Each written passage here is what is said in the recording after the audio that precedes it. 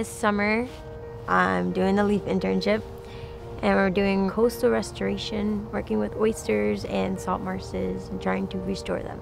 The Rhode Island chapter of the Nature Conservancy has an ongoing restoration project in the coastal ponds. They're trying to restore the natural wild oyster populations. We're taking oyster seeds and we're bringing them to sites like ponds or rivers and we're trying to have them reproduce on their own so that their population increases.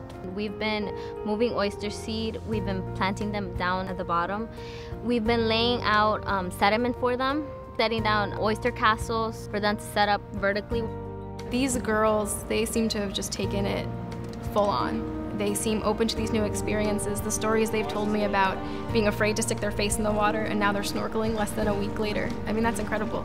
I enjoy the experience of snorkeling. It's awesome getting to see what's on the floor of like in the estuaries and everything and like you see the spider crabs crawling or the blue crabs hiding underneath like rocks and you find bay scallops and it's just really uh, a really cool experience. Look how awesome this is.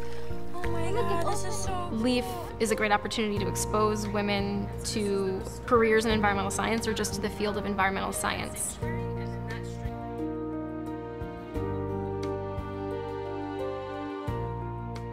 LEAF totally changed my perspective and opened the doors to something that I just didn't know existed. And I wouldn't have known existed living in New York, I think.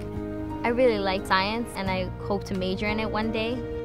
I want to go into marine biology. I want to work with mammals, beluga whales specifically, because I love them. LEAF is giving me a leg up in what I want to do. This is perfect. I love this program.